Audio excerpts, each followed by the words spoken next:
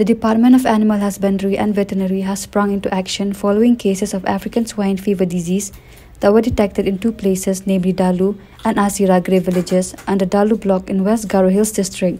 Informing this, the Minister in charge Department of Animal Husbandry and Veterinary A.L. Hek said that the area within the radius of 5 kilometers where the two cases were detected, those farms have been banned and livestock examined, however the other areas won't be affected.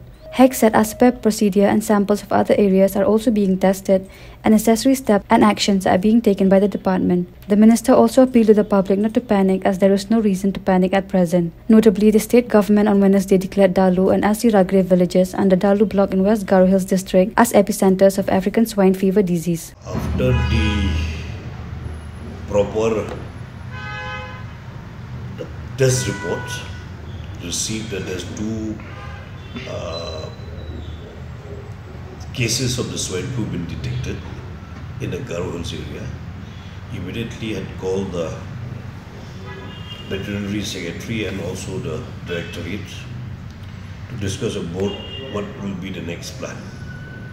So while we have discussing,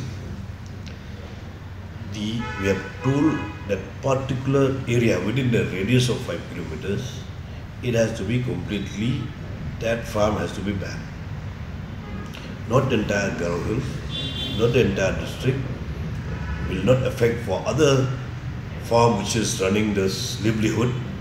So we have told specifically only that particular two places to within the radius of 5 kilometers to be completely seize and examine all the livestock which is there in this particular area. Uh, what are the other steps that have been taken? Like, you know, um, um, have you tested the samples of other areas as well?